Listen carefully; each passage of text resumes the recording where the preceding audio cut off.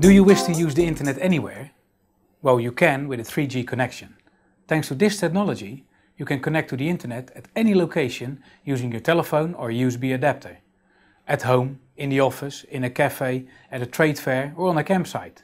Literally anywhere.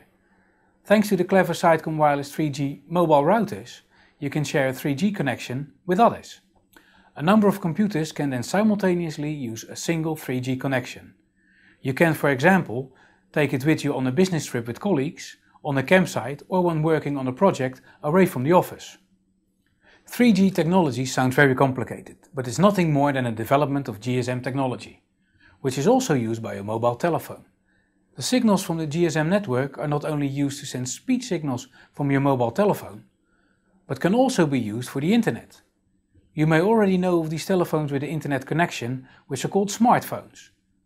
Now there are also USB sticks which you can use to easily connect your computer to the mobile internet.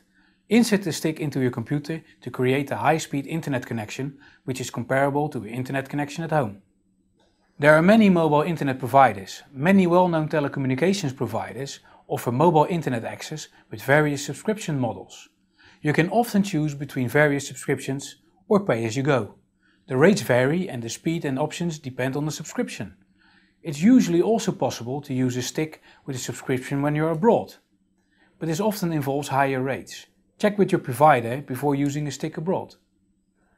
Sitecom makes it possible to share a 3G connection.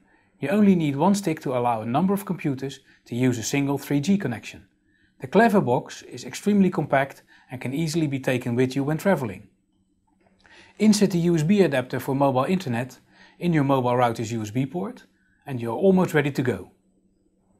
Sitecom's wireless mobile routers supports many different adapters, but it's recommended to check our website before purchasing one.